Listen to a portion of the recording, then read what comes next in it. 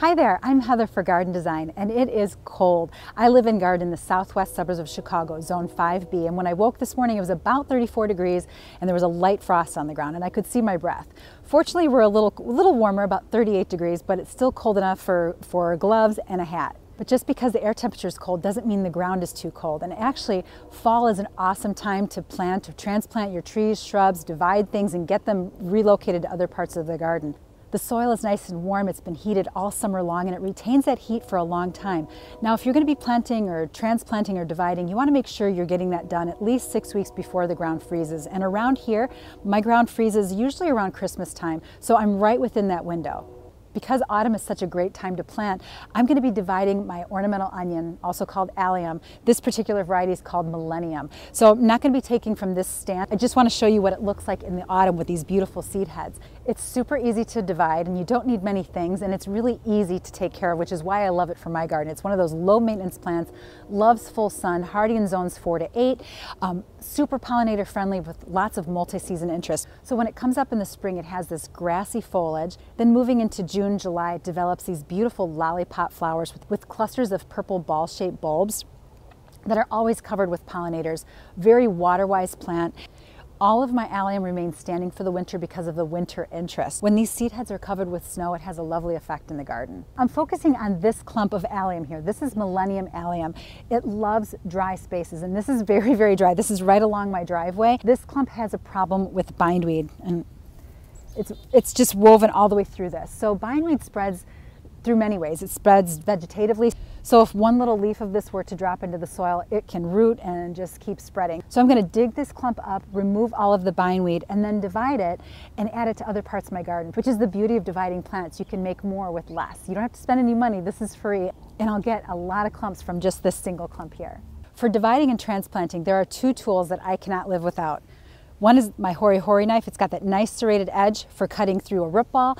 And the other one is my transplanting shovel. It's got a nice sharp edge on it and it really is good for getting in around the, plant, lifting it, and then slicing through the center of plants to make divisions.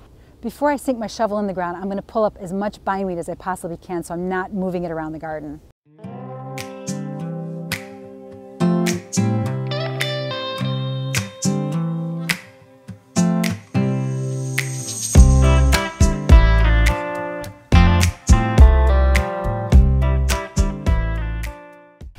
With bindweed, you don't want to compost this. You want to throw this right into the trash. This is a noxious weed and it will grow anywhere. So this is going straight into the garbage. There are two ways I can divide this. I can just cut out individual sections from the plant and leave the entire plant intact, or I can lift the entire plant and divide sections from it. I'm going to lift this whole thing out because I know I've got bindweed worked in here too and I want to get that out of there so I'm not moving it to other parts of the garden. So let's get after it. We're going to dig around the base of the plant, not too close to the center. I want to leave some roots intact, but the cool thing about ornamental onion, it's super resilient.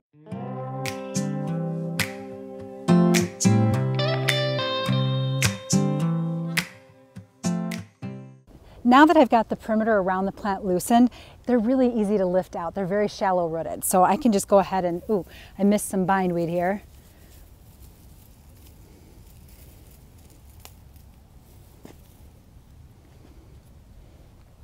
Watch how easy this is. See how shallow rooted that is?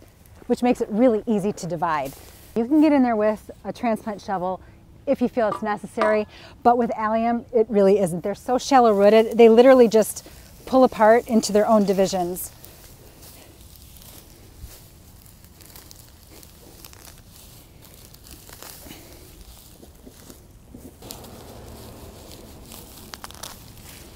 You don't have to be precious with it. They're going to be just fine.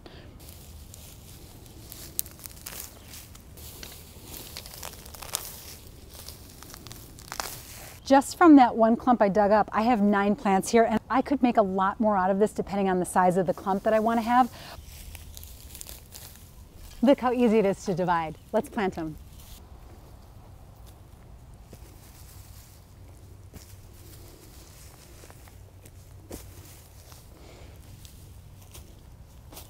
I smell like onion. That kind of goes with the territory when you're working with ornamental onion. I'm spacing these divisions about 12 inches on center, which means I'm measuring from the center of one plant to the center of the next plant, and that's a 12 inch or one foot spacing. And I'm gonna plant them at the depth they were in the other hole. So not very deep, you just wanna make sure you're covering the roots. They're not gonna look so happy after you transplant them. They will wilt down, but they will be just fine. The roots will start setting.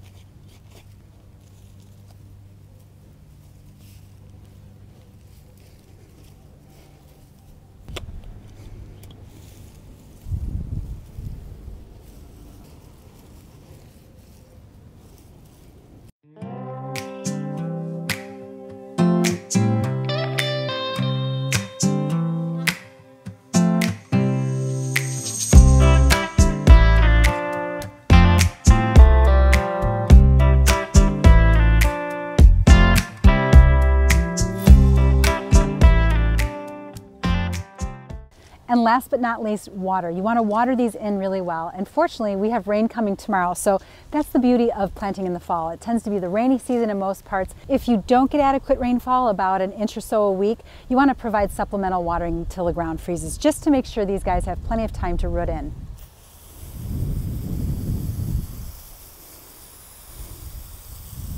Allium is such a great plant to divide and share with friends and neighbors. It's so easy to take care of, water-wise, pollinator-friendly, winter interest, hardy in zones four to eight, loves full sun. You really don't have to think about this plant, so why wouldn't you want to make more of it? And it applies to so many of our other perennials. So don't overlook fall. It's a great time to divide plants, make more of them, save money, and add beauty to your garden. Oh, and one more thing, you're gonna smell like onions.